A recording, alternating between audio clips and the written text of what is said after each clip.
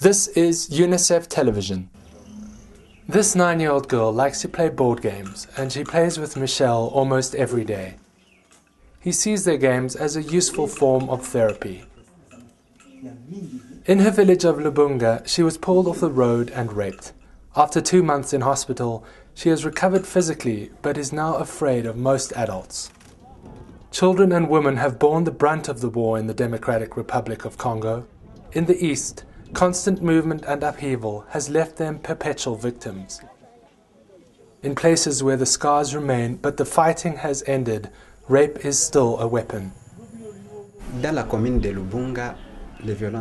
Sexual violence has become a daily phenomenon here in Lubunga. We get wind of cases every day, sometimes two, sometimes three.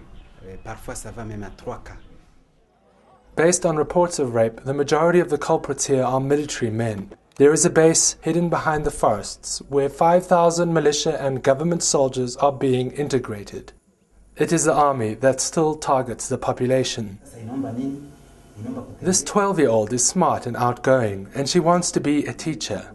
She went through an experience that is all too common here for young girls. I went to fetch water, and when I was almost finished, I felt someone come behind me.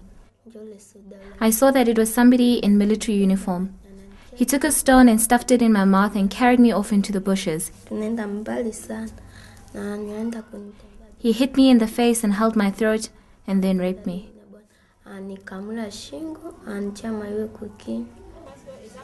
There is little space for hope, but children are getting together to discuss the scourge of rape and violence, and it is up to them to stand up for the damaged generation. In the Democratic Republic of Congo, this is David McKenzie reporting for UNICEF. Unite for Children.